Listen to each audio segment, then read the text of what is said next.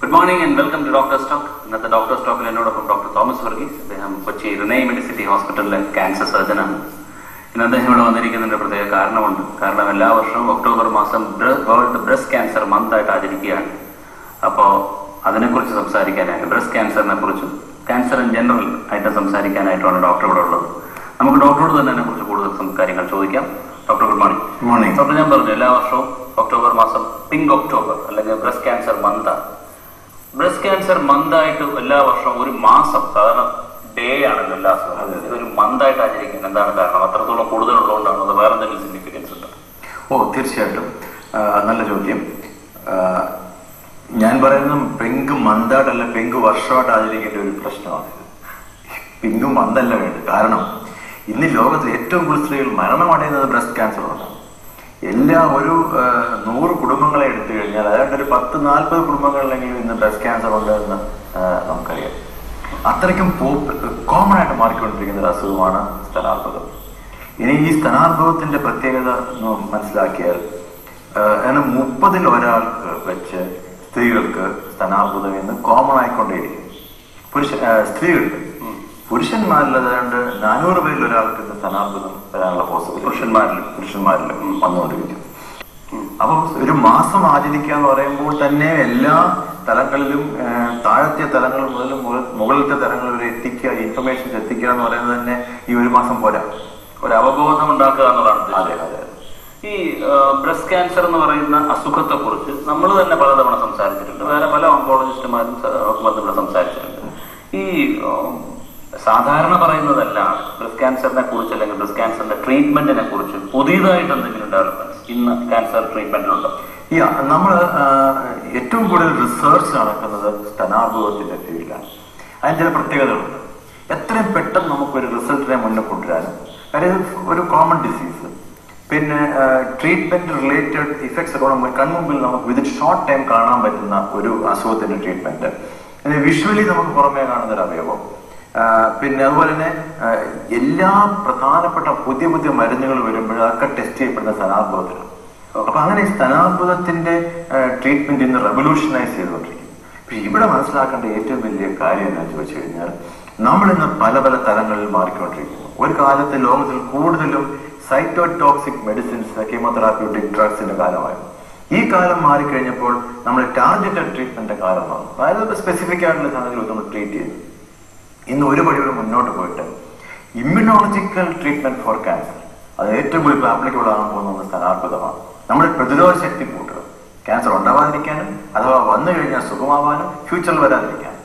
ഇതോടൊപ്പം ഏറ്റവും പ്രധാനമായി ഇന്ന് ലോകം കാണുന്ന സംഗതിയാണ് ജനറ്റിക് ടെസ്റ്റ് അതായത് പരമ്പരാഗതമായി വരാ വരാവുന്ന ക്യാൻസറുകളിലെ ഏറ്റവും കോമൺ ക്യാൻസറാണ് സ്ഥാനാർബുദം ഒബീരിയൻ ക്യാൻസർ ഉണ്ട് ഇതുപോലെ ഇൻഡസ്ട്രിയൽ ക്യാൻസർ ഒക്കെ പരമ്പരാഗത വരാവുന്നതാണ്. പാൻഗ്രാറ്റിക് ക്യാൻസർ ഒക്കെ വരാം. പക്ഷേ ഏറ്റവും കോമൺ സംഗതി എന്ന് പറയുന്നത് സ്ഥാനാർബുദമാണ് ഓക്കെ അപ്പൊ ഈ ഏറ്റവും കോമൺ ആയിട്ട് വരാൻ സാധ്യതയുള്ളതെന്ന് പറയുന്ന ബ്രസ്റ്റ് ക്യാൻസറും അതോടൊപ്പം തന്നെ മറ്റ് ക്യാൻസറുകളും വരാൻ സാധ്യതയുണ്ടോ എന്ന് ടെസ്റ്റ് ചെയ്ത് കണ്ടുപിടിക്കാൻ പറ്റുമെന്നാണ് ഡോക്ടർ അതെ അതെ. കാരണം ഏതാണ്ട് സെവൻ ടു ടെൻ പെർസെന്റ് സ്തനാർബുദങ്ങളും ജനറ്റിക്കലി ഡിട്രമെന്റ് ആണ്. എന്ന് വെച്ചാൽ രണ്ട് പ്രധാനപ്പെട്ട ജീൻസ് ആണ് ഇതിന് കാരണക്കാരായിട്ട് പറയുന്നത്. ഏറ്റവും പ്രധാനം ഒന്ന് B R C A one രണ്ട് B R C A two B R C എന്ന് പറഞ്ഞാൽ ബ്രസ്റ്റ് ക്യാൻസർ അസോസിയേറ്റഡ് ആന്റിജൻ ഈ B R C one B R C two ഉള്ള അല്ലെങ്കിൽ അത് വഹിക്കുന്ന ശരീരം ഉള്ള ആൾക്കാർക്ക് മറ്റാൾക്കാരെക്കാൾ കൂടുതൽ അവരുടെ ലൈഫ് ടൈമിൽ eighty seven to ninety percent കൂടുതൽ പോസിബിലിറ്റി ഓഫ് ഗെറ്റിംഗ് ക്യാൻസർ രണ്ട് ഈ ടെസ്റ്റിംഗ് നമ്മൾ മനസ്സിലാക്കി കഴിയുമ്പോൾ ആ ഫാമിലികളിൽ തന്നെ പലർക്കും വീണ്ടും ഈ അസുഖം വരാവുന്ന പോസിബിലിറ്റിയെ പറ്റി ഒരു നമുക്കൊരു അവബോധവും കിട്ടും അപ്പൊ ഈ ബ്രസ്റ്റ് ജനറ്റിക് ടെസ്റ്റിംഗ് എന്ന് പറയുന്നത് ഒരു ഇൻവേരിയബിൾ ഘടകമായിട്ട് മാറിക്കൊണ്ടിരിക്കും. എല്ലാ വികസിത രാജ്യങ്ങളിൽ നിന്ന് ജനറ്റിക് ടെസ്റ്റിംഗ് ബ്രസ്റ്റ് ക്യാൻസർ ചികിത്സയുടെ ഭാഗമായി. ജനറ്റിക് ടെസ്റ്റിംഗ് എന്ന് ഒന്നുകൂടെ വ്യക്തമാക്കാമോ തീർച്ചയായിട്ടും. ഞാൻ ഈ പറഞ്ഞ രണ്ട് antigen B R C A one B R C A two ഈ രണ്ട് ജീൻസും നമുക്ക് ഒരു സ്ത്രീയുടെ അല്ലെങ്കിൽ പുരുഷന്റെ ബോഡിയിലുണ്ടെങ്കിൽ ഇതിനെ കണ്ടുപിടിക്കാം. ഇതിനെ കണ്ടുപിടിക്കുന്നത് സാധാരണ ഒരു blood test D N A analysis പറയും. ഒരിക്കൽ നമ്മൾ ഈ ഈ അസസ്മെന്റ് നടത്തി കഴിഞ്ഞത് പോസിറ്റിവിറ്റി ഉണ്ടെന്ന് മനസ്സിലാവുകയാണെങ്കിൽ അവിടുന്ന് ആരംഭിക്കും നമുക്ക് ചെയ്യാനുള്ള ഒരുപാട് കാര്യങ്ങളുടെ. ഓക്കെ അതായത് വരാൻ സാധ്യതയുണ്ടെന്ന് മുന്നിൽ കണ്ടുകൊണ്ട് നമുക്ക് ഒരുപാട് കാര്യങ്ങൾ ചെയ്യാൻ പറ്റുമെന്നല്ലോ അതാണ് അതിന്റെ ഇംപ്ലിക്കേഷൻ അപ്പൊ ഈ ജനറ്റിക് ടെസ്റ്റിംഗ് ചെയ്യുന്ന ഇപ്പൊ നമുക്ക് എല്ലാവരിലും പഠിച്ച് നമുക്ക് ജനറ്റിക് ടെസ്റ്റിംഗ് ചെയ്യാൻ പറ്റില്ല. അപ്പം അങ്ങനെ വരികയാണെന്നുണ്ടെങ്കിൽ be ഒരു റിസ്ക് ഗ്രൂപ്പ് ഉണ്ടാവും. ഹൈ റിസ്ക് ഗ്രൂപ്പ് ഉണ്ടാവും. തീർച്ചയായും. ആ റിസ്ക് ഗ്രൂപ്പ് നമ്മൾ എങ്ങനെ ഐഡന്റിഫൈ നല്ല ചോദ്യം ഈ റിസ്ക് ഗ്രൂപ്പ് നമ്മൾ അനലൈസ് ചെയ്യുമ്പോൾ രണ്ട് ഗ്രൂപ്പായിട്ട് അതിനെ തിരിക്കണം ഒന്ന് ഒരു വ്യക്തി ഒരു പേഴ്സൺ രണ്ട് ആ വ്യക്തി ഉൾക്കൊള്ളുന്ന ഫാമിലി ആ വ്യക്തിക്ക് ഒരു പേഴ്സണിന് എന്തൊക്കെയാണ് possibilities for a be higher risk ഒന്ന് younger than fifty years breast cancer ഇന്ന് യങ്ങർ ദാൻ തേർട്ടീസ് വളരെ കോമൺ ആണ് രണ്ട് ട്രിപ്പിൾ നെഗറ്റീവ് ബ്രസ്റ്റ് ക്യാൻസർ അതായത് E R P R oestrogen immuno histochemistry നമ്മൾ ടെസ്റ്റ് ചെയ്ത് നോക്കിയിട്ട് ഇതിന്റെ ബിഹേവിയർ മനസ്സിലാക്കുന്ന ടെസ്റ്റുകളാണ് അതിൽ ഈസ്ട്രജൻ റിസപ്റ്ററും പ്രൊജസ്ട്രോൺ റിസപ്റ്ററും പിന്നെ എച്ച് ആർ ടു നെഗറ്റിവിറ്റി വന്നു കഴിഞ്ഞാൽ അവർക്ക് സാധ്യത പോസിറ്റിവിറ്റി കൂടുതലാണ്. അതുപോലെ ഡബിൾ ബ്രസ്റ്റ് ക്യാൻസർ രണ്ട് സനാബ് രണ്ട് ബ്രസ്റ്റിലും സനാബദം വരുന്ന സ്ത്രീകളുണ്ട്. പിന്നെ ഫാമിലിയിൽ മറ്റാൾക്കാർക്ക് ഒബേറിയൻ ക്യാൻസർ ഉള്ള ആൾക്കാർ അതുപോലെ തന്നെ ബ്രസ്റ്റ് ക്യാൻസർ ഇതൊക്കെയും പേഴ്സണൽ റിസ്ക് ഫാക്ടേഴ്സ് ഇതുപോലെ ഫാമിലി നമ്മൾ റിസ്ക് ഫാക്ടർ നോക്കുമ്പോൾ ആ ഫാമിലിയിൽ ഉൾപ്പെടുന്ന ആൾക്കാരിൽ ഇതുപോലെ triple negative breast cancer male breast cancer common ആയിട്ട് വരുന്ന ആൾക്കാർ അതുപോലെ younger generation less than thirties ഫോർട്ടീസിൽ സ്ഥാപനം വരുന്ന ഒരു സിറ്റുവേഷൻ ഉണ്ടെങ്കിൽ ഇങ്ങനെയൊക്കെയുള്ള റിസ്ക് ഫാക്ടേഴ്സ് നമുക്ക് അതുപോലെ പല members in the family cousins അല്ലെങ്കിൽ മദർ ടു ഡോട്ടർ അങ്ങനെ ഒരുപാട് ഗ്രൂപ്പ് ആൾക്കാർക്ക് അതുപോലെ തന്നെ ഓവറി ക്യാൻസറും പാൻക്രിയാറ്റിക് ക്യാൻസർ ആ ഫാമിലിയിൽ കൂടുതലായിട്ടുണ്ടെങ്കിൽ ഇങ്ങനെയൊക്കെ ഉള്ളവരെ നമ്മൾ ഹയർ ദാൻ നോർമൽ റിസ്ക് നടക്കുന്നത് ഓക്കെ ഇവരെയൊക്കെ ഇന്ന് ജനറ്റിക് ടെസ്റ്റിംഗ് ചെയ്യിക്കണമെന്നാണ് ഇപ്പോഴത്തെ ആധുനിക വൈദ്യശാസ്ത്രം പറയുന്നത്. റീസെന്റ് വിയന്നെ നടന്ന യൂറോപ്യൻ ബ്രസ്റ്റ് യൂറോപ്യൻ ക്യാൻസർ കോൺഗ്രസിലും ഞാൻ പങ്കെടുത്തിരുന്നു. അവിടെയൊക്കെ പ്രതിപാദിക്കുന്ന ഏറ്റവും പ്രധാനപ്പെട്ട ഒരു കാര്യമാണ് ജനറ്റിക് ടെസ്റ്റിംഗ് അപ്പൊ ഇതിനകത്തൊരു നല്ല വശമുണ്ട് ഇതിനകത്തൊരു ചീത്ത വശമുണ്ട്. കാരണം ഇത് ടെസ്റ്റ് ചെയ്തിപ്പോ ഒരു റിസ്ക് ഉണ്ട് എന്ന് കണ്ടുപിടിച്ചു കഴിഞ്ഞാൽ നോർമലി എന്താ പറയുക മരണം മുന്നിൽ കണ്ടുകൊണ്ട് പിന്നീട് അങ്ങോട്ട് ജീവിക്കുക എന്നൊരു പല പേഷ്യൻസ് പേഷ്യൻസ് അല്ല അവർക്ക് അസുഖം ഇല്ല ശരിക്കും പറഞ്ഞു പക്ഷേ റിസ്കിയാണ് എന്ന് പറയും അവരോട് നമ്മൾ പറയുകയാണ് നിങ്ങൾക്ക് വരാൻ സാധ്യതയുണ്ടെന്ന്. അതൊരു നല്ല സിറ്റുവേഷൻ ആയിരിക്കില്ല ഇതൊരു ഇത് ലോകത്തിൽ ആദ്യമായിട്ട് ജനറ്റിക് ടെസ്റ്റിംഗ് ആരംഭിച്ചപ്പോൾ യു എസ് യൂറോപ്പ് പോലെ രാജ്യങ്ങളിലൊക്കെ വലിയ ഇഷ്യൂ ആയിരുന്നു. എന്തായാലും നമ്മളെക്കാട്ടിൽ മാനസികമായിട്ടും അല്ലെങ്കിൽ പ്രശ്നങ്ങളുടെ പ്രതികരിക്കുന്ന മെത്തേഡ് നമ്മുടെ രാജ്യത്ത് ഇന്ത്യക്കാരെക്കാളും ബെറ്റർ ആണെന്ന് തോന്നുന്നു എനിക്ക് യൂറോപ്യൻ രാജ്യങ്ങളിലും അമേരിക്കയിലൊക്കെ കാരണം അവർക്കൊക്കെ വേറൊരു തലങ്ങളിലാണ് കാണുന്നത്. അപ്പൊ അഥവാ നമുക്കങ്ങനെ പോസിറ്റിവിറ്റി ഉണ്ടെന്ന് മനസ്സിലാക്കിയാൽ അവിടെ അതിനെ ഒരു ചലഞ്ചായിട്ടാണ് ഏറ്റവും ബെസ്റ്റ് എക്സാമ്പിൾ എന്ന് പറയുന്നത് ഇങ്ങനെ ജനറ്റിക് ടെസ്റ്റ് പോസിറ്റിവിറ്റി കഴിഞ്ഞിട്ട് രണ്ട് സ്ഥലങ്ങളും മുറിച്ചു മാറ്റിയെന്ന് ലോകത്തോട് പച്ചയ്ക്ക് തുറന്നു പറഞ്ഞ ആഞ്ചലിന ജോളി എന്ന് പറയുന്ന. ഹോളിവുഡ് ആക്ട്രസ് നിങ്ങളുടെ മുന്നിലുണ്ട്. ഇന്ത്യയിൽ ഇപ്പോൾ അങ്ങനെ സാഹചര്യം നടന്നെങ്കിൽ ആരും പുറത്ത് പറയില്ല. ഞാൻ എം ഡി ആൻഡേഴ്സൺ ക്യാൻസർ ഹോസ്പിറ്റലിൽ പഠിക്കുന്ന സമയത്ത് ഞാൻ കണ്ടിട്ടുണ്ട്. പല സ്ത്രീകളും ജനറ്റിക് ടെസ്റ്റിംഗ് പോസിറ്റീവ് ആയിട്ട് വന്ന് രണ്ട് ബ്രസ്റ്റ് മാറ്റുന്ന ആൾക്കാരെ കണ്ടിട്ടുണ്ട്. അതൊരു വാർത്തയല്ലായിരുന്നു പക്ഷെ ആഞ്ചലിന ജോളി എപ്പോൾ ബ്രസ്റ്റ് മാറ്റി എന്ന് പരസ്യം ലോകത്തോട് പറഞ്ഞുവോ അന്നൊരു വാർത്തയെ അതിന്റെ അർത്ഥം പ്രോപ്പറായിട്ട് ഗൈഡൻസ് കൊടുത്തിട്ട് കൗൺസിലിംഗ് കൊടുത്തിട്ട് ഈ ടെസ്റ്റ് ചെയ്തതിന്റെ നല്ല വശങ്ങൾ എന്താണെന്ന് ഒരാൾ മനസ്സിലാക്കുവാണെങ്കിൽ അത് ആ വ്യക്തിക്ക് മാത്രമല്ല ആ വ്യക്തി ഉൾപ്പെടുന്ന ഫാമിലിക്കും അതുകൊണ്ട് പ്രയോജനം ഉണ്ടാവും എങ്ങനെയും ചോദിച്ചു കഴിഞ്ഞാൽ എല്ലാവരും ഒരുപക്ഷെ ആഞ്ചലിന ജോളി ചെയ്ത പോലെ രണ്ട് ബ്രസ്റ്റും മാറ്റണമെന്നില്ല. പക്ഷെ ഇങ്ങനെയുള്ളവരെ നമുക്ക് കൂടുതൽ ഫ്രീക്വന്റ് സർവൈലൻസിൽ വെക്കാം. മറ്റുള്ളവരെ അപേക്ഷിച്ച് കൂടുതലായിട്ട് ഇപ്പം ആറ് മാസം ഒരിക്കൽ നമ്മൾ ഇവാലുവേറ്റ് ചെയ്യുന്നു. ഇവർക്ക് ഇന്ന് പല മരുന്നുകളും കൊടുക്കാൻ സാധിക്കും. അതായത് ടെമോക്സിഫൻ പോലുള്ള മരുന്ന് റെലോക്സിഫൻ പോലുള്ള മരുന്നുകൾ കൊടുത്തു കഴിഞ്ഞാൽ പ്രിവെന്റീവായി പ്രിവെന്റീവ് ആയിട്ട് കൊടുക്കാൻ സാധിക്കും. അതായത് fifty to sixty percent cancer reduction ഉണ്ടാക്കാൻ സാധിക്കുന്നതാണ് യൂറോപ്യൻ സ്റ്റഡി പറയുന്നത്. വേഴ്സ് കം വേഴ്സ് സിറ്റുവേഷൻ ആണെങ്കിൽ ഇന്ന് ഈ ഡബിൾ മാസ്റ്റക്ടമി എന്ന് പറയുന്ന ഒരു കോമൺ സംഗതിയാണ്. ആൾക്കാർക്ക് എന്നെ ശ്രദ്ധിക്കുന്ന ആൾക്കാർക്ക് ഒരുമിച്ച് തോന്നുമായിരിക്കും ഡബിൾ മാസ്റ്റക്ടമി എന്ന് പറഞ്ഞാൽ ചെറുപ്പക്കാരെ ആളുടെ രണ്ട് സ്ഥലങ്ങൾ മുറിച്ച് മാറ്റുന്നത് മാത്രമാണ്. ചോദ്യം പറയാൻ പോവായിരുന്നു. അങ്ങനെയല്ല. ഡബിൾ മാസ്റ്റക്ടമി ചെയ്താൽ അതൊരു സബ്ക്യൂട്ടേനിയസ് മാസ്റ്റക്ടമി എന്ന് പറയും. അതായത് ബ്രസ്റ്റിനകത്തുള്ള മിൽക്ക് പ്രൊഡ്യൂസിങ് ഗ്ലാൻസിനെ മാത്രം മാറ്റിയ ശേഷം അതിനുള്ളിൽ പ്ലാസ്റ്റിക് സർജറി ചെയ്തിട്ട് പുറമെ ആര് കണ്ടാലും മനസ്സിലാകാത്ത രീതിയിൽ പ്ലാസ്റ്റിക് സർജറിയോട് കമ്പൈൻ ചെയ്യുന്ന ഒരു പ്രൊസീജിയറാണ് ഈ ഡബിൾ മാസ്റ്റക്ടമി അല്ലെങ്കിൽ ആഞ്ചലിന ജോളി അണ്ടർഗോ ചെയ്ത സർജറി അപ്പൊ ഇങ്ങനെ ആകുമ്പോൾ പുറമെ ആർക്കും മനസ്സിലാവില്ല ഈ സർജറി ചെയ്തതായിട്ട്. അവരുടെ വിഷ്വൽ അപ്പിയറൻസിലും ഒരു മാറ്റം ഉണ്ടാവില്ല. മാത്രവുമല്ല അവർക്കൊരു റിസ്ക് റിഡക്ഷൻ ഉണ്ടായിരുന്നു ഇതിൽ വലിയ ബെനിഫിറ്റ് ആക്ച്വലി പക്ഷെ അത് നമ്മുടെ നാട്ടിലോട്ട് വന്ന് ഇതിനെ ഇതിനൊരു അക്സെപ്റ്റബിലിറ്റി വരാൻ. ഒരു പക്ഷേ ഇതിന് സമയം എടുക്കുമായിരിക്കും ബട്ട് ഇറ്റ് ഈസ് ബെനിഫിറ്റ് ഈ ഇപ്പൊ ഡോക്ടർ പറഞ്ഞ ഈ പ്രൊസീജിയർ അതായത് ഡബിൾ മാസ്റ്റക്ടമി എന്ന് പറയുന്നത് ബ്രസ്റ്റിന്റെ സ്ട്രക്ചറിനോ അല്ല ഒന്നിനും ഒരു വ്യത്യാസം വരാതെ ഇൻക്ലൂഡിങ് പ്ലാസ്റ്റിക് സർജറി ബ്രസ്റ്റിന്റെ ഷേപ്പും കാര്യങ്ങളും എല്ലാം നിലനിർത്തിക്കൊണ്ട് ചെയ്യുന്ന ഈ സർജറി അതെ അത് ചെയ്യുന്നു എന്ന് പറയുന്ന അതേ കാലത്ത് തന്നെ ഇന്നും മാസ്റ്റക്ടമി അഡ്വൈസ് ചെയ്യുന്നുണ്ടല്ലോ അല്ലെങ്കിൽ ചെയ്യുന്നുണ്ടല്ലോ. അതിന്റെ അപ്പൊ ഇത് തമ്മിൽ ഒരിക്കലും യോജിക്കില്ല അതൊരു വിരോധാഭാസമാണ്. പറയാതിരിക്കാൻ പറ്റില്ല. കാരണം ഇന്ന് നടത്തി നടക്കുന്ന എല്ലാ സ്റ്റഡീസും പറയുന്നത് സ്ഥാനാർബുദം വന്നു കഴിഞ്ഞ ഒരു സ്ത്രീയുടെ അല്ലെങ്കിൽ പുരുഷൻ സ്ഥാനം മുഴുവൻ മുറിച്ച് മാറ്റുന്ന സിറ്റുവേഷൻ സ്ഥാനം അതേസമയം കോസ്മെറ്റിക് ഓങ്കോപ്ലാസ്റ്റിക് ഡ്രസ് സർജറി സ്ഥാനം മാറ്റി മുഴുവൻ മാറ്റാതെ ക്യാൻസർ വന്ന ഭാഗം മാത്രം മാറ്റി ആക്സിലറി ഡിസെക്ഷൻ ചെയ്ത് കറക്റ്റ് ആയിട്ടുള്ള ട്രീറ്റ്മെന്റ് പ്രോട്ടോകോൾ കൊടുക്കുകയാണെങ്കിൽ ഒരേ കാലഘട്ടം ജീവിച്ചിരിക്കും. അപ്പോൾ അനാവശ്യമായ സർജറിയാണ് സ്ഥലം മുഴുവൻ മുറിച്ച് മാറ്റുന്നത്. ഒന്ന് സൈക്കോളജിക്കലി ഒരാളെ നമ്മൾ ഹാം ചെയ്യും. അതായത് ഹറാസ്മെന്റ് ഓഫ് എ പേഴ്സൺ അവരുടെ ഇൻഡിവിജ്വാലിറ്റി പേഴ്സണാലിറ്റി ഇതിനൊക്കെ നഷ്ടപ്പെടുത്തുന്ന ഒരു സർജറിയാണ് സ്ഥലം മുഴുവൻ മുറിച്ചു മാറ്റുന്ന സർജറി അതേസമയം നമ്മൾ ഓർഗൻ പ്രിസർവേഷൻ ഇന്ന് ലോകത്തിലെ കാഴ്ചപ്പാടിലെ നമുക്ക് ക്വാളിറ്റി ഓഫ് ലൈഫ് വേണം. ക്യാൻസർ സുഖമാവണം നമുക്ക് ക്വാളിറ്റി ഓഫ് ലൈഫ് വേണം. ഇത് രണ്ടും കൂടെ ബ്ലെൻഡ് ചെയ്യണമെങ്കിൽ നമുക്ക് വേണ്ടി ഏറ്റവും പ്രധാനപ്പെട്ട പ്രൊസീജിയറാണ് ഇന്ന് പ്ലസ് സർജറിയിലെ ഓങ്കോപ്ലാസ്റ്റിക് പ്ലസ് സർജറി അത് പുറമെ ആരും അറിയാൻ പാടില്ല. സ്വന്തമായിട്ട് നമ്മൾ നോക്കുമ്പോലും പോലും നമുക്ക് യാതൊരു ഡിഫറൻസും തോന്നാത്ത രീതിയിൽ ക്യാൻസർ ട്രീറ്റ് ചെയ്യാൻ സാധിക്കും. പക്ഷെ ഒരു പ്രൈസ് ഉണ്ട് അതിനകത്ത് പ്രൈസ് ഈസ് ഏർലി ഡിറ്റക്ഷൻ അവിടെയാണ് പ്രശ്നം. ഇന്നിപ്പോ പക്ഷെ നമ്മുടെ നാട്ടിലെ ഒരു പ്രത്യേകത എന്ന് പറഞ്ഞു കഴിഞ്ഞാൽ ഇത് നേരത്തെ തിരിച്ചറിഞ്ഞാൽ പോലും ട്രീറ്റ്മെന്റിന് വരാത്ത സിറ്റുവേഷൻ ഓ യെസ് ഒരുപാട് പേരുണ്ട്. പ്രത്യേകിച്ച് ഞാൻ എന്റെ എക്സ്പീരിയൻസ് ഇരുപത്തിയേഴ് വർഷത്തെ എക്സ്പീരിയൻസ് ഞാൻ പറയുവാണെങ്കിൽ ഏറ്റവും കൂടുതൽ ആൾക്കാർ ഇങ്ങനെ തിരിച്ചറിഞ്ഞിട്ടും വരാതിരിക്കുക എന്ന് പറയുന്നത് അപ്പർ സോഷ്യോ എക്കണോമിക് സ്റ്റാറ്റസ് ആൾക്കാരാണ്. ആ ഡോക്ടർമാർ പേഷ്യൻസ് എനിക്കുണ്ട് പ്രൊഫസർമാരുണ്ട് ഇൻഡസ്ട്രിയലിസ്റ്റുകളുണ്ട് ബാങ്ക് ഓഫീസേഴ്സ് ഉണ്ട് ഇവരൊക്കെ രഹസ്യമായിട്ട് വെച്ചുകൊണ്ടിരിക്കും.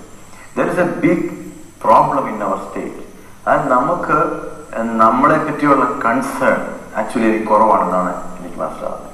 നമ്മൾ അതുകൊണ്ട് തന്നെ ഈ പിങ്ക് മന്ത് സെലിബ്രേറ്റ് ചെയ്താലും പിങ്ക് വർഷം സെലിബ്രേറ്റ് ചെയ്താൽ പോലും ജനങ്ങളിലെ മാറ്റം ഉണ്ടാവണമെങ്കിൽ പക്ഷെ ഞാൻ ഈ ഡോക്ടർ നേരത്തെ ഇപ്പൊ ഈ പറഞ്ഞ പ്രശ്നം അതായത് ബ്രസ്റ്റ് ക്യാൻസർ ഉണ്ട് എന്നൊരു ലംബായിട്ട് സ്വയം ഐഡന്റിഫൈ ചെയ്താൽ പോലും ട്രീറ്റ്മെന്റിന് ഒരു മുന്നോട്ട് വരാത്തതിന്റെ ഒരു കാരണം നിങ്ങളെ പോലുള്ളവർ തന്നെയാണ്. അതായത് ലംബ് എടുത്ത് മാറ്റുന്നതിന് പകരം ബ്രസ്റ്റ് മുഴുവൻ എടുത്ത് മാറ്റിയിട്ട്. വിടുന്നതാണ് പ്രശ്നം. യെസ് അത് ഹൺഡ്രഡ് പെർസെന്റ് കാരണം ഈ ഒരു അണ്ടർസ്റ്റാൻഡിങ് മെഡിക്കൽ പ്രാക്ടീഷണേഴ്സ് ഓങ്കോളജിസ്റ്റുകൾക്ക് ഉണ്ടായിരിക്കണം പലപ്പോഴും ഈ രോഗികൾ കാണാൻ പോകുന്നത് ചിലപ്പോൾ റേഡിയേഷൻ ഓങ്കോളജിസ്റ്റിനെയോ അല്ലെങ്കിൽ ഒരു മെഡിക്കൽ ഓങ്കോളജിസ്റ്റിനെയോ ചിലപ്പോൾ സർജിക്കൽ ഓങ്കോളജിസ്റ്റിനെ ആയിരിക്കും കാണാൻ പോകുന്നത്.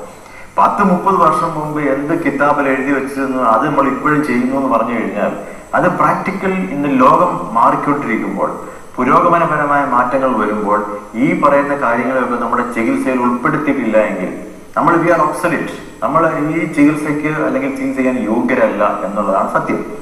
അപ്പം ഇതിന് തിരിച്ചറിവ് നമുക്കുണ്ടായിരിക്കണം. അത് സത്യമായിട്ടും നിങ്ങൾ പറഞ്ഞ ശരിയാണ് ഞങ്ങളെ പോലുള്ള ആൾക്കാരായിരിക്കും എന്റെ പുറകിലുള്ളത്. പക്ഷെ അത് അങ്ങനെയല്ല സമൂഹത്തിൽ നിന്ന് മാറ്റം വരുന്നതെന്ന കാര്യം ഇതുപോലുള്ള ചാനലുകൾ നിങ്ങളെ പോലെ ആൾക്കാർ വന്ന് ഇൻഫ്ലൂ ചെയ്യുമ്പോൾ ഞങ്ങൾ പറയുന്ന ഈ കാര്യങ്ങൾ ജനങ്ങളിലേക്ക് എത്തണം. ഇതൊരു മീഡിയമാണ് you are doing a good job as a as a person who is going to spread this message ഈ ബ്രസ്റ്റ് ക്യാൻസറിന്റെ സർജറി സർജറി വശമാണല്ലോ നമ്മളിപ്പോ പറഞ്ഞത്. സർജറി എന്ന് പറയുന്നത് അവിടെ ട്രീറ്റ്മെന്റ് അവസാനിക്കുമോ അതോ ഫെർദർ ഫോളോ അപ്പും കീമോതെറാപ്പി പോലുള്ള ഡ്രഗ് തെറാപ്പി വേറെ വേണ്ടി വരും? തീർച്ചയായിട്ടും. നമ്മൾ ഈ റിസ്ക് അസസ്മെന്റ് ചെയ്ത് കഴിഞ്ഞു. ഇപ്പൊ ജനറ്റിക് ടെസ്റ്റിങ്ങോ അല്ലാതെയോ ഡീനോമോ എയ്റ്റി നയന്റി പെർസെന്റ് ആൾക്കാർക്ക് ഒരു ജനറ്റിക് പ്രശ്നങ്ങളില്ലായിരുന്നു എങ്കിൽ പോലും നമ്മൾ ഒരാൾ കൊടുക്കാൻ പോകുന്ന ട്രീറ്റ്മെന്റിന് ഒരു പാറ്റേൺ ഉണ്ട്. ആ പാറ്റേണിനകത്ത് സർജറി കഴിഞ്ഞാൽ ഓപ്പറേഷൻ അതായത് ഓങ്കോപ്ലാസ്റ്റിക് സർജറി കഴിഞ്ഞാൽ എന്താണ് പെത്രോളജി എന്താണ് അതിന്റെ റിസ്ക് സ്ട്രാറ്റിഫിക്കേഷൻ അതിനുണ്ട് റിസ്ക് സ്ട്രാറ്റിഫിക്കേഷൻ അനുസരിച്ച് ഏറ്റവും ബെസ്റ്റായിട്ടും ഒപ്റ്റിമമായിട്ട് കൊടുക്കേണ്ട ട്രീറ്റ്മെന്റിനെ നമ്മൾ കറക്റ്റ് ആയിട്ട് കമ്പാർട്ട്മെന്റലൈസ് ചെയ്തിട്ടാണ് കൊടുക്കുന്നത്. അപ്പം there will be chemotherapy depending upon the immunohistochemistry radiation വേണ്ടവർക്ക് വേണ്ടി റേഡിയേഷൻ ഉണ്ടായിരിക്കും. ഇതെല്ലാം കൂടെ ചേർന്ന ആകത്തുകയാണ് ഒരു നല്ല ക്യാൻസർ ട്രീറ്റ്മെന്റ് പലർക്കും ഹോർമോൺ ട്രീറ്റ്മെന്റ് വേണ്ടി വരും. അപ്പം ട്രീറ്റ്മെന്റിനകത്ത് നമ്മൾക്ക് ഉണ്ടായ ആധുനിക ലോകത്തിൽ എന്തൊക്കെ പുതുമകൾ വന്നിട്ടുണ്ടോ? ഇത് നമ്മുടെ പേഷ്യൻസിന് കൊടുക്കുന്ന ഒരു പ്രസ്ഥാനം വരണം. രണ്ട് ഭയപ്പാട്. പലർക്കും പേടിയാണ്. അത് വലിയ.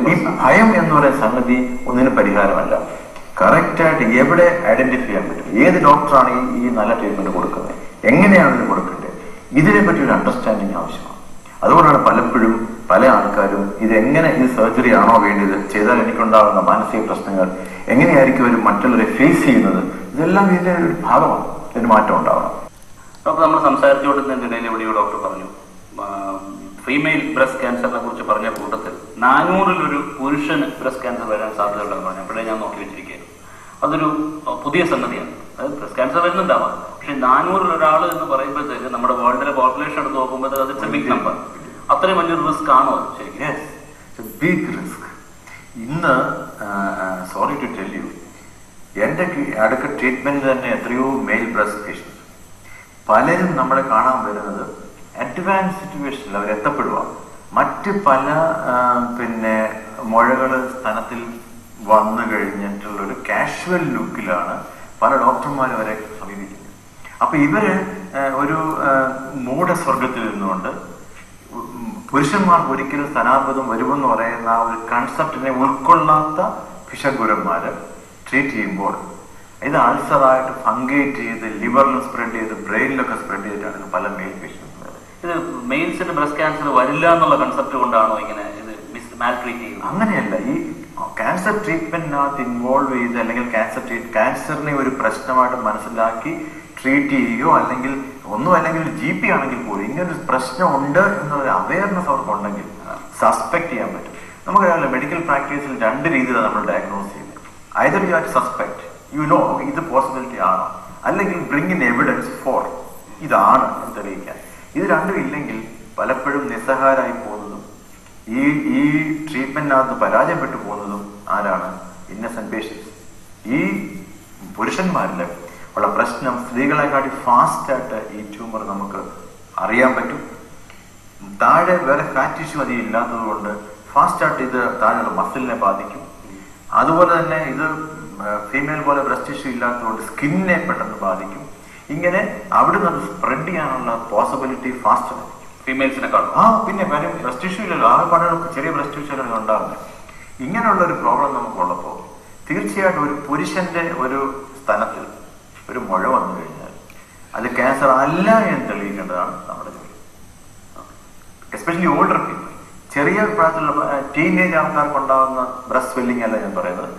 ആഫ്റ്റർ എ മിഡിൽ ഏജ് ഉണ്ടാവുകയാണെങ്കിൽ തീർച്ചയായിട്ടും ക്യാൻസർ എല്ലാം തെളിയിക്കേണ്ടത് അത്യന്താപേക്ഷിതമാണ്. ഈ നേരത്തെ പറഞ്ഞതിന്റെ ബാക്കി ബ്രസ്റ്റ് ക്യാൻസർ ട്രീറ്റ്മെന്റിന്റെ ബാക്കിയായിട്ട് ഞാൻ ചോദിച്ചോട്ടെ. ഒരു ഏജ് ഏജ് ഗ്രൂപ്പിൽ പെടും? നമ്മൾ നേരത്തെ ജനറ്റിക് ടെസ്റ്റിംഗിന്റെ കാര്യമൊക്കെ പറഞ്ഞു. അതെല്ലാം മാറ്റി വെച്ചിട്ട് ഒരു ജനറൽ അവയർനെസിന്റെ ഭാഗമായിട്ട് ചോദിക്കുകയാണ്. ഏത് ഏജ് ഗ്രൂപ്പിൽ പെടുന്ന ഏത് റിസ്ക് ഗ്രൂപ്പിൽ പെടുന്ന ലേഡീസ് ഏത് പ്രായത്തിൽ എന്ത് ടെസ്റ്റുകൾ ചെയ്യണം? ഒരു റെഗുലർ സ്ക്രീനിങ് ഇപ്പോഴത്തെ സ്റ്റാൻഡേർഡ് പ്രോട്ടോകോൾ എന്ന് പറയുന്നത് നാൽപ്പത് വയസ്സാണ് കട്ട് ഓഫ് നാൽപ്പത് വയസ്സ് വരെ നമ്മുടെ വാഹനം മുകളിലോട്ട് പോകുന്നു. നാൽപ്പത് വയസ്സിന് താഴോട്ട് ഫോർട്ടി ഇയേഴ്സ് കഴിഞ്ഞ ആൾക്കാർ. മിനിമം ഒരു പ്രാവശ്യമെങ്കിലും എല്ലാ സ്ത്രീകളും ഒരു മാമോഗ്രാഫി ടെസ്റ്റിന് ഒരു അൾട്രാസൗണ്ട് ടെസ്റ്റിനെങ്കിലും വിധേയരാണ് ultrasound breast breast minimum younger than forty എന്ന് പറയുമ്പോൾ അവരുടെ ആക്റ്റീവ് മെൻസ്ട്രൽ സൈക്കിളും ആക്റ്റീവ് മെൻസ്ട്രൽ ഹോർമോണൽ ചേഞ്ചസും ബോഡി നടന്നുകൊണ്ടിരിക്കും പല ആൾക്കാർക്കും ഫൈബ്രസ് ഫൈബ്രോസ് ടിഷ്യൂ കൂടുതലുള്ള ബ്രസ്റ്റ് ആയിരിക്കും. അവർക്ക് മാമോഗ്രാം അത്ര ബെസ്റ്റ് ആയിരിക്കത്തില്ല. അവർക്ക് അൾട്രാസൗണ്ട് ആയിരിക്കും ബെസ്റ്റ് എന്നാൽ ഈ രണ്ട് ടെസ്റ്റുകളും പരസ്പരം കോംപ്ലിമെന്ററി ആണ്. ഈ രണ്ട് ടെസ്റ്റുകളാണ് ഏറ്റവും മിനിമം നമ്മൾ ചെയ്തിരിക്കുന്നത്. ഇന്ന് ഡെൻസ് ഫൈബ്രസ് ബ്രസ്റ്റ് ആണെങ്കിൽ ഹൈ ഫാമിലി ഹിസ്റ്ററിയോ റിസ്ക് ഫാക്ടറോ ഉണ്ടെങ്കിൽ എം ആർ ഐ മാമോഗ്രാം എന്ന് പുതിയൊരു ടെസ്റ്റ് ഉണ്ട്.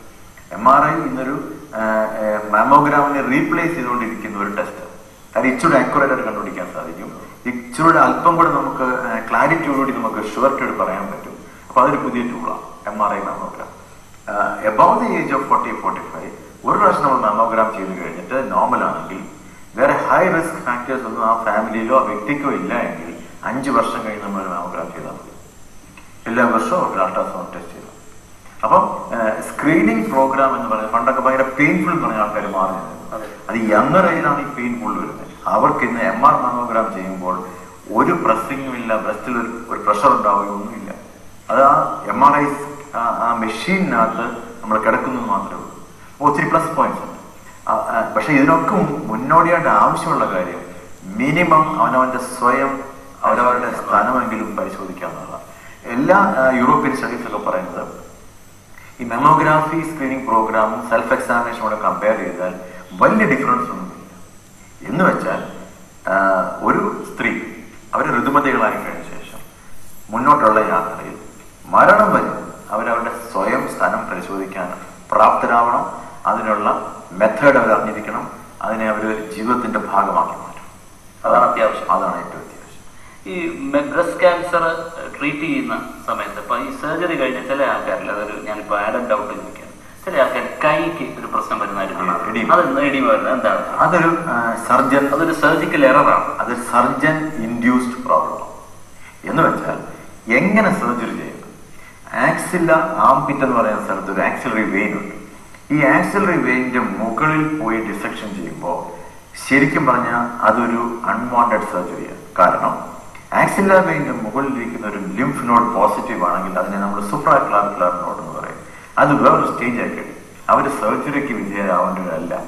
അവർ അപ്രണ്ട് ആയിട്ടുള്ള കിമോതെറാപ്യൂട്ടിക് മരുന്ന് കൊടുത്ത് ട്യൂമറിനെ ഷ്രിങ്ക് ചെയ്യപ്പെടേണ്ട ഗ്രൂപ്പാണ് അപ്പൊ അവിടെ പോയി അങ്ങനെ സർജറി ചെയ്യുമ്പോൾ സർക്കംഫറൻഷ്യൽ ഡിസെക്ഷൻ എന്നാണ് നമ്മൾ പറയുന്ന ഭാഗം ഒരു ആക്സിലറി വേ ചുറ്റിനുമാണ് ഈ ലിംഫാറ്റിക് ചാനലിന് പോകുന്നത്. അതിനെ കംപ്ലീറ്റ് ആയിട്ട് നമ്മൾ സ്ട്രിപ്പ് ഓഫ് ചെയ്യുവാണെങ്കിൽ ലിംഫിന് തിരിച്ച് ബോഡിയിലോട്ട് തിരിച്ച് കയറി പോകാൻ വഴിയില്ല. ആക്ച്വലി ഒരു വഴി ബ്ലോക്ക് ചെയ്ത് കഴിഞ്ഞാൽ ഡാമിൽ വെള്ളം കെട്ടുന്ന പോലെ കയ്യിൽ മുഴുവനും ആ ലിംഫാറ്റിക് ചാനലിന് മുഴുവൻ നീര് വന്ന് വീർക്കും അപ്പൊ അതൊരു basically it's surgeon surgeon induced problem അത് സർജറിയുടെ ഭാഗമാണ്. പണ്ട് കാലത്ത് നടന്നുകൊണ്ടിരുന്ന റാഡിക്കൽ മാസ്റ്റക്ടമി എന്നൊക്കെ പറഞ്ഞു കഴിഞ്ഞാൽ കംപ്ലീറ്റ് സ്ട്രിപ്പ് ഓഫ് ചെയ്യുന്ന ഒരു പരിപാടിയാണ്. അന്ന് ഇത് വളരെ കൂടുതലായിരുന്നു. ഇന്ന് ഇപ്പൊ അൺട്രെയിൻഡ് ആൾക്കാരായിട്ട് ആൾക്കാർ അത് ഓപ്പറേറ്റ് ചെയ്യുവാണെങ്കിൽ ആ ഈ പ്രശ്നത്തിന്റെ സാധ്യത കൂടുതലായിരിക്കും. ഇന്നുകൊണ്ട് വളരെ കോമൺ ആണ്. അപ്പൊ നമ്മൾ ഹൈലി സെലക്റ്റഡ് സെലക്റ്റീവായിട്ട് ചെയ്യേണ്ട ഒരു സർജറിയാണ് ആ പെൻഷൻ ഡിസെക്ഷൻ അതുകൊണ്ടാണ് ഇന്ന് നമ്മൾ വളരെ ക്ലിയർ ആയിട്ട് ഇൻവോൾവ് നോട്ട്സ് ഉണ്ടോ ഇല്ലയോ എന്നൊക്കെ ടെസ്റ്റ് ചെയ്തിട്ടായിരിക്കും പലപ്പോഴും. അതിന് സെന്റിനൽ നോട്ട് ബയോപ്സി എന്നൊക്കെ പറയാം. ഇതൊക്കെ നമ്മൾ ചെയ്യുവാണെങ്കിൽ if you are untrained if you train you will restrict to below the compartment operate ചെയ്യേണ്ട ലെവലിൽ ഓപ്പറേറ്റ് ചെയ്യും അൺട്രെയിൻഡ് ആയിട്ട് ആൾക്കാർ അങ്ങനെ ആണെന്നുണ്ടെങ്കിൽ അവർ ആദ്യം ചെയ്യേണ്ടത് ഈ സെന്റിനൽ നോട്ട് ബയോപ്സി കണ്ടുപിടിച്ചിട്ട് ആ ടെസ്റ്റ് പഠിച്ച് സ്വായത്തമാക്കിയ ശേഷം പരിപാടി ഓക്കെ ഡോക്ടർ ഇന്നത്തെ ഡോക്ടർ സ്റ്റോക്കിന്റെ സമയം അവസാനിക്കുകയാണ്. ഇന്നത്തെ ഡോക്ടർ സ്റ്റോക്കിൽ ഡോക്ടർ തോമസ് വർഗീസ് അദ്ദേഹം റിനൈ മെഡിസിറ്റി ഹോസ്പിറ്റലിലെ ക്യാൻസർ സർജനാണ് ബ്രസ്റ്റ് ക്യാൻസർ മന്തുമായി ബന്ധപ്പെട്ട് ബ്രസ്റ്റ് ക്യാൻസറിനെ കുറിച്ചും അതിന്റെ അവയർനെസിനെ കുറിച്ചും അതുപോലെ ബ്രസ്റ്റ് ക്യാൻസറിന്റെ ഏറ്റവും ലേറ്റസ്റ്റ് ആയിട്ടുള്ള ഡിറ്റക്ഷൻ ടൂളായ ജനറ്റിക് ടെസ്റ്റിങ്ങിനെ കുറിച്ചുമൊക്കെയാണ് അദ്ദേഹം പറഞ്ഞത് അദ്ദേഹം പറഞ്ഞതിൽ നിന്ന് എനിക്ക് മനസ്സിലായത് ബ്രസ്റ്റ് ക്യാൻസർ എത്ര നേരത്തെ കണ്ടുപിടിക്കാൻ ബ്രസ്റ്റ് ക്യാൻസർ മാത്രമല്ല എല്ലാ ക്യാൻസറുകൾക്കും ഈ പറഞ്ഞ കാര്യങ്ങൾ ബാധ്യത. ബാധകമാണ്. എനിക്ക് തോന്നുന്നു വളരെ ചുരുക്കം ചില ക്യാൻസറുകളെ ഉള്ളൂ ഈ പറഞ്ഞ ഒരു കാര്യം. ഞാനിപ്പോ പറയാൻ പോകുന്ന കാര്യത്തിന് പുറത്തു നിൽക്കുന്നത്. അതായത് നേരത്തെ കണ്ടുപിടിച്ചാൽ ഹൺഡ്രഡ് പെർസെന്റ് ട്രീറ്റബിൾ ആണ് ഒരുമാതിരി എല്ലാ ക്യാൻസേഴ്സും. ബ്രസ്റ്റ് ക്യാൻസറിൽ ഏറ്റവും പ്രധാനപ്പെട്ട ഒന്ന്. അതായത് ഒരു മുഴയായി കണ്ടുപിടിക്കുകയാണെങ്കിൽ ഹൺഡ്രഡ് പെർസെന്റ് ക്യൂറബിൾ ആയിട്ടുള്ള ഒരു ക്യാൻസറാണ് നമ്മൾ വെച്ച് വലുതാക്കി. അതെ. അതാണ് ഈ ടി ഫാക്ടർ ടി എൻ എമ്മിലെ ടി ഫാക്ടർ ട്യൂമർ സൈസ് അത് നമ്മൾ അത് കണ്ടുപിടിക്കേണ്ട സമയത്ത് കണ്ടുപിടിച്ച് ട്രീറ്റ് ചെയ്യേണ്ടത് പോലെ ട്രീറ്റ് ചെയ്തില്ലാത്ത ട്രീറ്റ് ചെയ്യാത്തത് കൊണ്ടാണ് പലപ്പോഴും ബ്രസ്റ്റ് ക്യാൻസർ മരണകാരണമായേക്കാവുന്നത്. അപ്പൊ നമ്മൾ രണ്ടുപേരും ഡോക്ടർ തുടക്കത്തിൽ പറഞ്ഞത് ഞാനിപ്പോ പറഞ്ഞത് തമ്മിൽ വളരെയധികം വിരുദ്ധമാണ്. അതായത് ഏറ്റവും കൂടുതൽ സ്ത്രീകൾ മരിക്കുന്ന ബ്രസ്റ്റ് ക്യാൻസർ ആണെന്ന് ഡോക്ടർ പറഞ്ഞു. ഏറ്റവും കൂടുതൽ സ്ത്രീകൾ മരിക്കുന്ന രോഗം ബ്രസ്റ്റ് ക്യാൻസർ ആണെന്ന് പറഞ്ഞു. ഞാൻ പറയുന്നു ഹൺഡ്രഡ് പെർസെന്റ് ട്രീറ്റബിൾ ആണ്. ഇത് രണ്ടും തമ്മിൽ ഭയങ്കര വൈവിധ്യമാണ്. അതിന് കാരണം നമ്മൾ തന്നെയാണ്. ഈ പ്രോഗ്രാം കണ്ടിരിക്കുന്നവർക്കെങ്കിലും അതിനെക്കുറിച്ചുള്ള അവയർനെസ് ഉണ്ടാവട്ടെ എന്ന് പ്രാർത്ഥിച്ചുകൊണ്ട് അടുത്ത ആഴ്ച വീണ്ടും